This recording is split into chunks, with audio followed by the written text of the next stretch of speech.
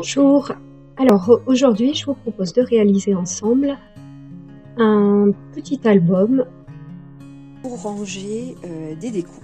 Donc euh, l'idée n'est pas de moi, vous trouverez euh, dans la description en fait le lien original, donc c'est Lulu Scrap qui l'a fait. Et du coup j'ai décidé de refaire la même chose mais en faisant euh, les enveloppes, en les découpant, et euh, moi j'ai pas de punch tab, mais par contre j'ai une machine de découpe euh, silhouette, et donc eh ben, j'ai fabriqué en fait mes onglets que j'ai plastifiés avec ma silhouette. Voilà, donc là c'est le premier, et du coup je vous propose de fabriquer ensemble, et eh ben il y en aura quatre, donc les quatre autres. Euh, et ensuite, on va les coller pour réaliser un espèce de petit album à souffler. Allez, c'est parti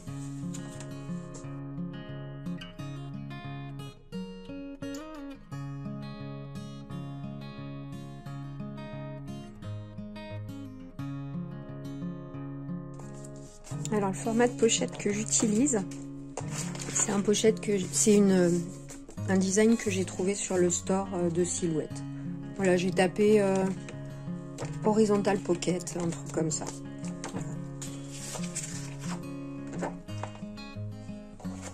Donc voilà, j'ai collé euh, mes quatre pochettes. Donc maintenant, en fait, ce qu'on va faire, c'est les assembler et les coller juste au milieu pour, pour que ça fasse un soufflet. Donc vraiment, euh, c'est pas mon idée. Donc je vous conseille d'aller voir le, lien dans la description parce que Lucille a fait le tuto et il est beaucoup mieux que celui-là. Donc euh, bah, allez le voir et puis du coup je vous retrouve une fois que tout est collé.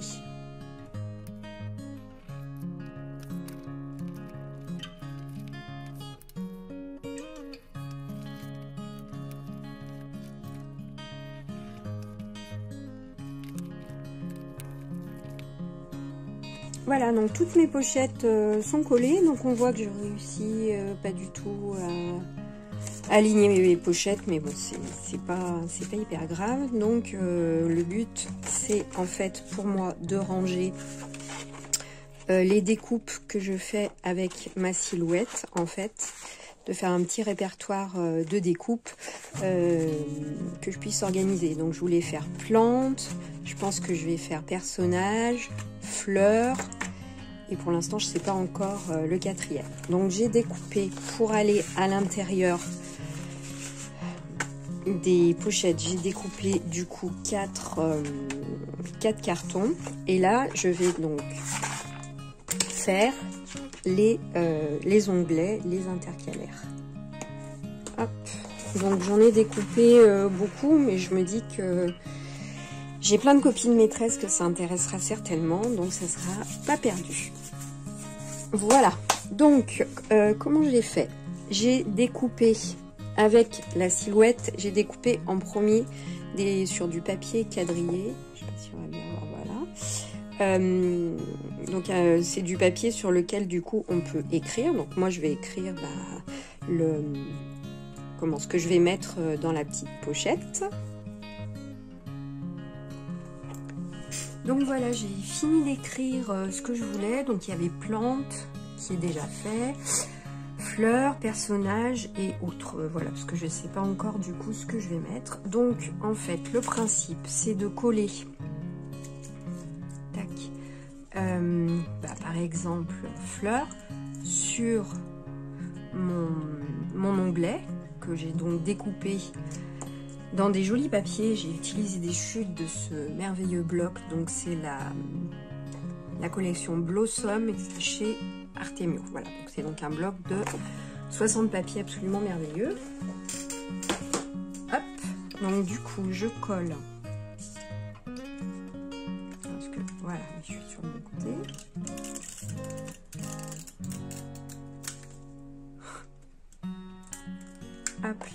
Donc je colle mon petit papier sur mon onglet. Après j'aurais pu écrire directement là-dessus aussi. Mais moi j'ai préféré que ce soit uniforme euh, comme ça. ça me plaît davantage. Donc voilà, donc ça c'est fait. Ensuite, je prends donc une petite cartonnette et je vais du coup insérer, hop, voilà, il va être, tac, il va être globalement, globalement comme ça. Donc, je vais le coller et après, je vais le plastifier avec une feuille que j'ai découpée. Alors allons-y. La dernière fois j'ai fait l'inverse. J'ai plastifié d'abord et ensuite j'ai collé et c'était pas forcément hyper évident. Donc du coup je vais faire dans ce sens. On va voir si ça fonctionne mieux. Hop.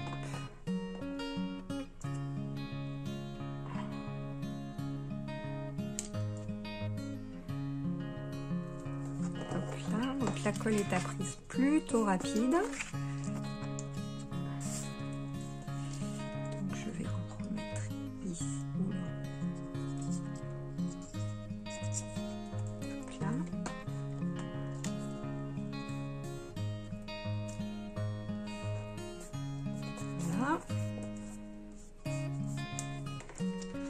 Donc là, j'ai collé euh, mon onglet. Comme je souhaite qu'il soit protégé puisque c'est quelque chose que je vais saisir, bah en fait j'ai découpé. Alors vous allez peut-être pas voir grand chose, mais vous allez voir quand je vais le retirer.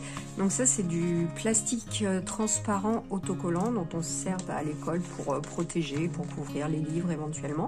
Et du coup moi j'ai fait une découpe du contour de l'intercalaire. Donc, j'espère qu'on voit quelque chose. Donc voilà, en fait j'ai juste le contour de mon intercalaire. Je vais venir le poser dessus. Ah, ça croche. Attends. Hop. Voilà.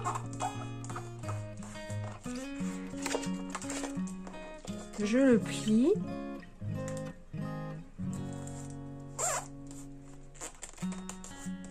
Et voilà. Donc là, mon onglet est, est plastifié. Donc j'ai fait fleurs, plantes et puis bah, je vais faire les deux autres et puis je vous retrouve, je vous retrouve après une fois que c'est terminé. Donc voilà, j'ai fini euh, mes quatre intercalaires. Je vais les mettre du coup dans les pochettes.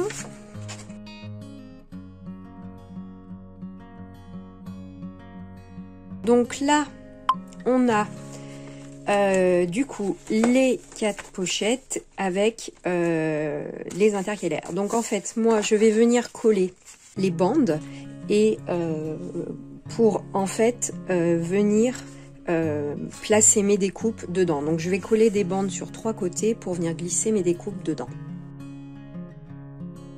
découper euh, des petites bandes que je vais venir coller euh, sur chaque intercalaire sur trois côtés.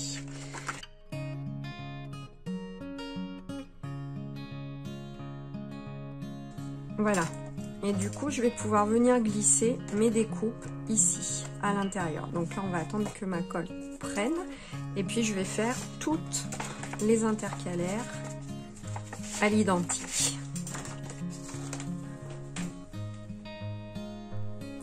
Voilà, donc j'ai fini de faire euh, toutes mes intercalaires.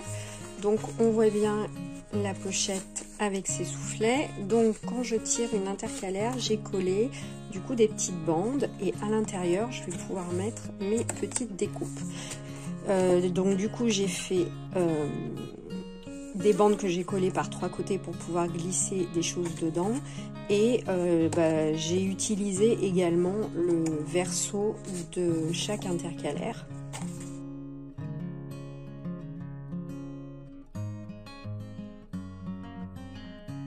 Il me reste à faire du coup une couverture et un, et un dos ici. Voilà, ce sera quand même plus joli. Et puis, euh, je pense que je vais glisser deux rubans, euh, un là, et enfin dans les couvertures en fait, pour, euh, pour fermer le, Ouais. Oui, pour fermer du coup cette espèce de petit rangement, petit répertoire à, découpe. Donc voilà, j'ai terminé les deux couvertures du carnet. Du coup, j'ai fait les deux et j'ai fait une couverture qui... Comment Voilà, qui va se placer comme ça et l'autre derrière. Et du coup, ça sera fermé par un nœud.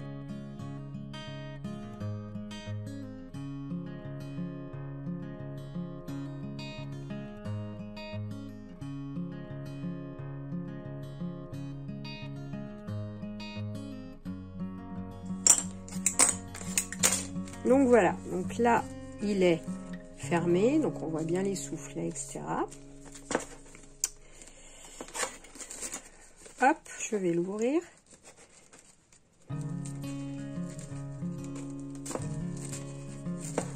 Ouais, le ruban, c'est pas très pratique. Voilà, donc j'ai rempli euh, avec euh, des découpes que j'avais. Donc, par exemple, euh, donc ce sont des découpes que je réalise avec ma silhouette caméo. Donc voilà, dans l'onglet plantes. en fait, j'ai dessiné hop, ces petites choses avec la silhouette et je les ai découpées aussi avec la silhouette. Voilà, et du coup, ça me permet en fait qu'elles soient bien classées et de les voir euh, tout à peu près euh, d'un seul coup d'œil. Alors moi des découpes j'en ai pas énormément parce qu'en principe je les fais en fonction de ce que j'ai besoin puisque ça va assez vite et donc c'est pour ça que je vais toutes pouvoir les voir sans forcément découper euh, énormément. du coup j'ai comme j'ai fait recto verso on peut en mettre aussi derrière. Voilà, on range. Et euh, qui j'ai fait Bah, autre, par exemple. Alors, hop, j'avais fait celui-là. Un petit euh, chocolat chaud d'automne, pareil. Sur du vert. Et j'avais aussi fait des, des découpes, enfin des écritures euh, blanches sur fond noir. J'ai découpé soit à la main, soit avec la machine. Puis là, il me restait deux petits cadeaux de Noël. Donc je les ai placés là, ça attendra du coup, euh, ça attendra Noël euh, pour, euh, pour ça. Donc en fait voilà, moi je me sers de ces découpes de toute façon pour décorer mon bullet journal. Donc j'en ai pas besoin d'énormément. Donc je pense que le rangement me suffira tout à fait. Je voilà. Si je pense que que si vous avez plus de découpes, par exemple avec celle qu'on peut faire avec les dice de découpe et puis la, la machine avec la moulinette où, on tourne, là je retrouve plus son nom. Peut-être euh, ça suffira pas, en tout cas moi pour l'utilisation que j'en ai pour le bullet journal, euh, bah, c'est parfait. Donc j'ai combiné euh, plusieurs idées. Bah, tout d'abord l'album à soufflet que bah, j'ai trouvé sur la chaîne de Lulu Scrap, donc voilà. Et puis je sais plus, j'avais... Enfin voilà, j'ai vu cette idée. en fait ça fait un peu comme un comme un album de timbres. Voilà, sauf que là, on met, euh, quand on classe les timbres dans les albums, euh, comment ici c'est du papier du papier de soie un peu transparent un peu papier calque. Comme ça on voit le, le, bas du timbre. Bon moi j'ai pas besoin de voir le bas de ma découpe et puis du coup je préférais utiliser euh, mon papier blossom. Donc voilà. J'ai combiné plusieurs plusieurs tutos en fait plusieurs plusieurs façons de faire euh, pour, euh, pour arriver à ça. Et puis bah, du coup je suis pas mécontente parce que j'y suis arrivée.